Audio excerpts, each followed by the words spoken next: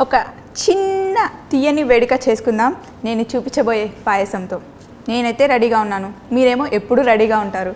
మరి ఇంకెందుకు ఆలస్యం? Welcome to Vahrehvah dot com in Telugu. Me chef స్వప్నతో. తీయటి వేడుక చేసుకుందాం రండి రండి అని పిలిచాను. కానీ వేడుకలో ఏం తిందామో చెప్పలేదు కదా? సొరకాయ సగ్గుబియ్యం పాయసం అండి.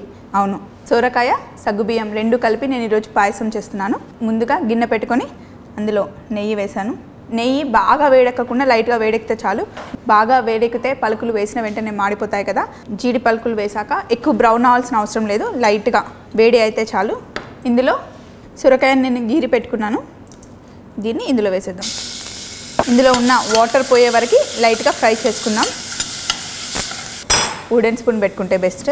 కొంచెం వాటర్ ఉన్నాయి కదా అది అబ్జర్వ్ చేసే వరకు ఫ్రై చేద్దాం. కానీ కలుపుతూనే ఉండాలి లేకపోతే కింద అతుకుపోతుంది.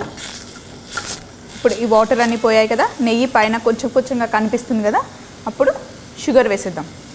చక్కెర వేసాం కదా చక్కెర మొత్తం కరిగిపోయింది కదా ఒక కప్పు సొరకాయకి హాఫ్ లీటర్ మిల్క్ అలాగే ఒక కప్పు సగ్గుబియ్యం కూడా.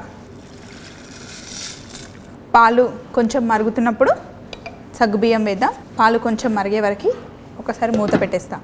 పాలు కొంచెం వేడెక్కుతున్నాయి కదా అక్కడక్కడ లైట్గా బుడగలు వస్తున్నాయి కదా ఇప్పుడు సగ్గుబియ్యంని కూడా ఇందులో వేసేద్దాం. సగ్గుబియ్యం వేసాం కదా అది ఉడుకుతుంటుంటే అప్పుడు పాయసం కొంచెం చిక్కబడుతుంది. కావాలంటే కొంచెం వాటర్ కూడా యాడ్ చేసుకోవచ్చు.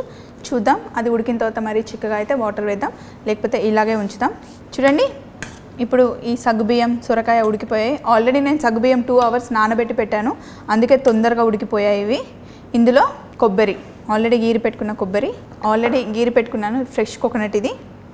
మళ్ళీ ఇలాచీ పౌడర్. పాయసం అంటేనే ఇలాచీ పౌడర్ వేయాలి కదండి స్మెల్ చాలా బాగుంటుంది. ఇది ఉడుకుతుంది కదా. ఇప్పుడు మన పాయసంని బౌల్లో తీసుకొని ఇది ఇప్పుడే తినడానికి కాదండి.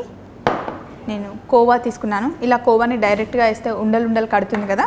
అందుకని ఇలా వేడి దాంట్లో వేస్తే బాగా కరుగుతుందని ఇలా తీసుకున్నాను. ఇలా బాగా కలుపుకొని ఇప్పుడు ఈ కోవాని మన పాయసంలో వేసేద్దాం. మన సొరకాయ సగ్గుబియ్యం పాయసం రెడీ అయిపోయింది. అది కోవాతో ఒక్క నిమిషం లాస్ట్ ఒక ఫినిషింగ్ టచ్ ఇస్తాను. దేంతోనో తెలుసా? మన కుంకుమ పువ్వుని వాటర్లో నానబెట్టాను. ఎందుకంటే మంచి కలర్ కోసం ఇంకా మంచి ఫ్లేవర్ కోసం. ఇప్పుడు స్టవ్ ఆఫ్ చేసి ఒక్క నిమిషం ఇలా మూత పెట్టి ఉంచితే ఆ ఫ్లేవర్స్ అన్నీ బాగా కలుస్తాయి.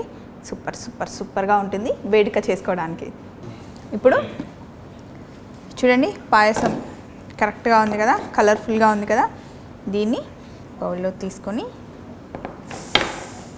టేస్ట్ చేద్దాం.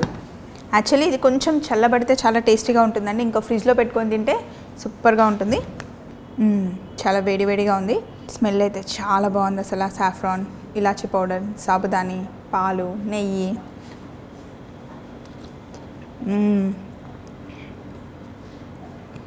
మనం చాలా ఫ్రెష్ కొబ్బరి వేసాం కదా.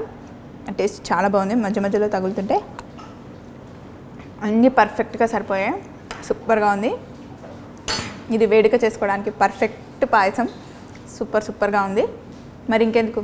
మీరు కూడా ఇలాంటి పాయసం చేసుకొని నాలాగే ఎంజాయ్ చేసేయండి. మరి నేను మరొక రెసిపీలో మళ్ళీ కలుస్తాను. వారవా డాట్ కామ్ ఇన్ తెలుగులో. మీ షెఫ్ స్వప్న.